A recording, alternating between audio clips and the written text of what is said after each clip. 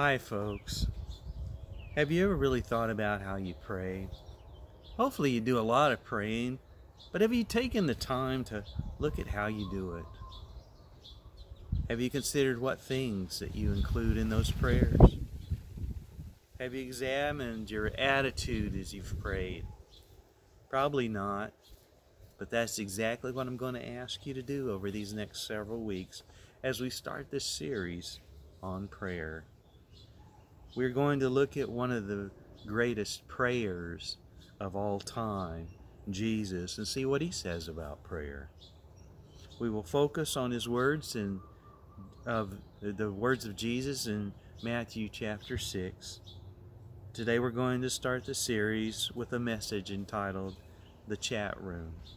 A chat room is a designated area on the internet where people can exchange information about a particular subject or an area of special interest. The very first chat rooms were launched in 1980 and uh, revolved around the CB radio culture at the time. And there were 40 different channels that involved into the concept of chat rooms. It's hard to believe that they've been around that long. You may be asking yourself, what does a chat room have to do with the Bible?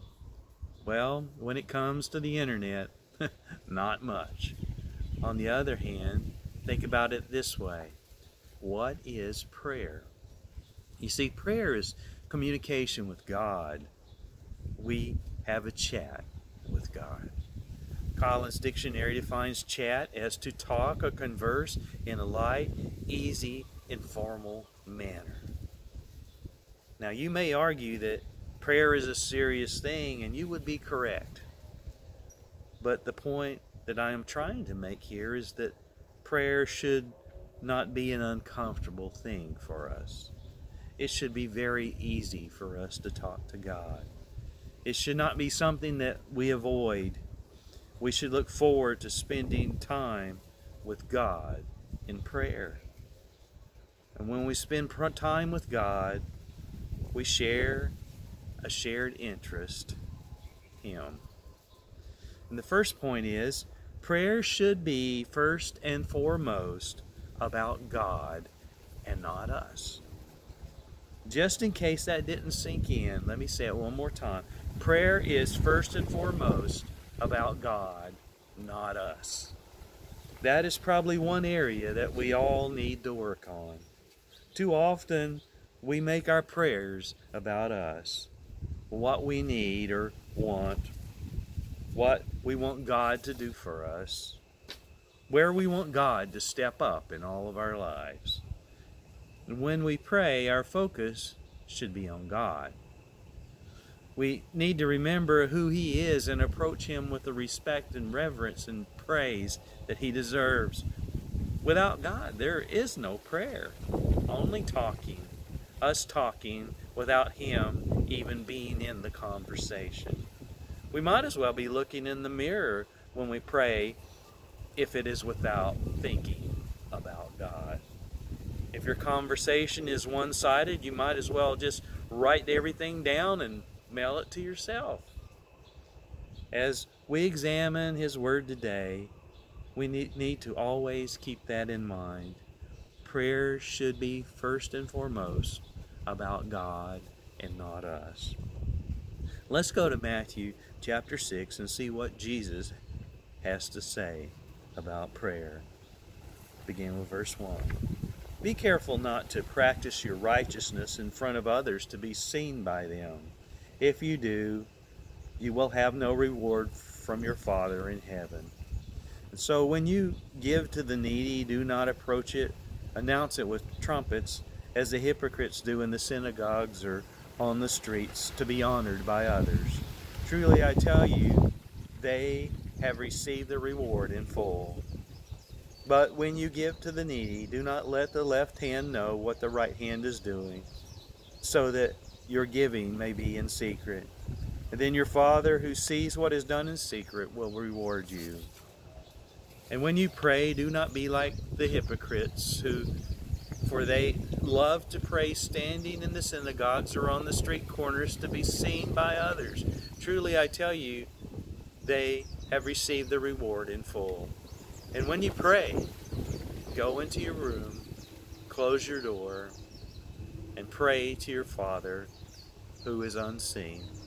And then your Father who sees what is done in secret will reward you. And when you pray, do not keep on babbling like the pagans, for they think they will be heard because of their many words.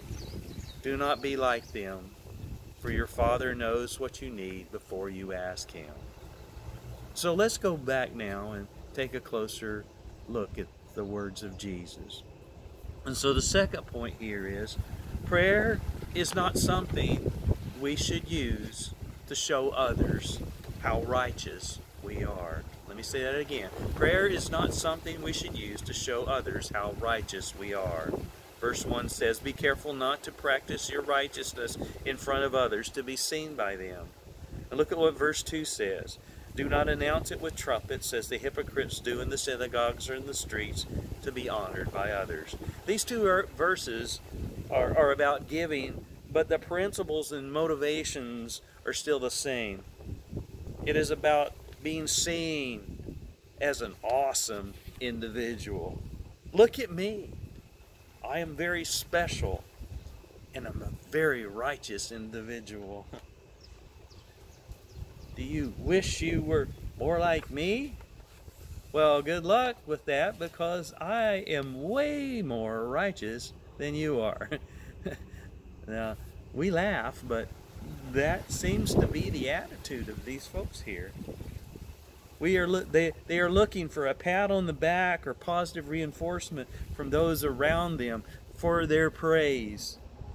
When you pray, do you pray like that? Remember the first point of this message is prayer should be first and foremost about God and not us.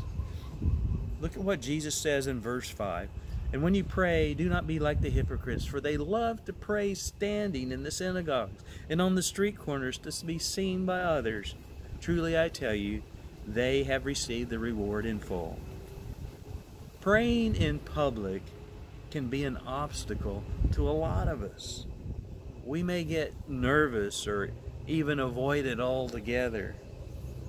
You may be worried about what others think about how you pray and want to make a good impression. Our goal should not be the approval of others, but a true conversation with God, with them just listening in or praying along with you. If others are judging your prayers, that is an issue for them to deal with, not you. There is no need for you to try and impress them. As a matter of fact, Jesus tells us not to.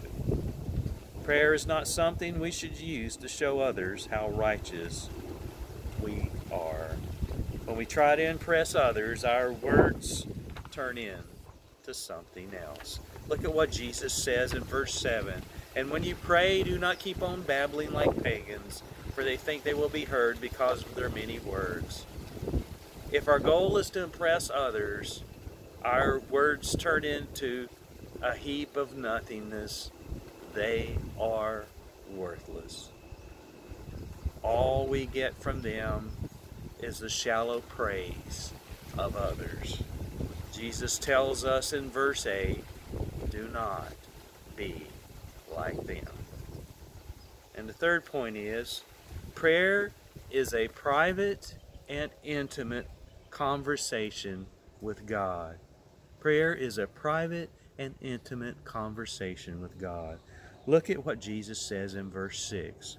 But when you pray, go into your room, close the door, and pray to your Father who is unseen and then your Father who sees what is done in secret will reward you. All of us are busy, but we need to set aside a time for God every day. Last week, we talked about using a portion of time to read His Word. We need to spend time in prayer as well. We need to find a time and place to do that. There is no required time or place, but we need to be mindful of how we do it. We need to approach prayer not from a worldly point of view, but the way Jesus tells us to do it. Jesus tells us to find a place where we can be alone with God, just Him and us. We need to find an oasis in the middle of this wild and busy world and our wild and busy schedule to meet with God in peace and quiet away from all the distractions. You would not take a bath in the middle of an intersection because it is a private and personal experience. The same goes for praying. If there are distractions around us, your attention will be drawn to those things and away from God. Those distractions become an obstacle to reaching that moment of closeness with God. Make it your top priority to arrange this special time with God daily. Give Him first place in your life. Show Him that you love Him with all your heart, with all your soul, and with all your mind, as Matthew 22 37 says. Find a time and a place that lets you have intimate time with God. Find your personal chat room. Make it a sacred time and place. Protect it. Treasure it. Verse 4 tells us, Then your Father who sees what is done in secret will reward you. Spending time with God should be a very personal and life changing experience. there should be a more special time each day than when we pray. There should be no more special time and place each day than when we pray to God, when we kneel before Him in intimacy and experience His peace and love. Prayer is a private and intimate conversation with God. The fourth thing, we cannot hide anything from Him, so be open and honest with God. Do you have trouble confessing things to God? Are there things in your life that you are ashamed of? Things that you know do not please God and need to be taken care of? Things that you are too embarrassed about to bring up in prayer? we know they are sins and they are not what God wants. So we try to hide them from God. Those are the things that we need to pray about. We do not bring them up when we are with God, but we need to. It becomes like dirty laundry that was put in the closet, hoping that no one would discover it. No one would smell it. But it doesn't hide. Sooner or later, the smell becomes overwhelming and it is discovered. In our effort to hide these things, they permeate other areas of our lives and start to affect our walk there as well. All because we tried to hide them. Now, here's the truth God knows everything about us, He created us and knows us down to the very, the very single hair on our heads. We need to be open and honest with Him. He already knows. He's just waiting for us to confide in Him, to trust Him. Our God is a loving God and wants us to be genuine and truthful in our approach toward Him. If something is wrong in your life, tell Him about it.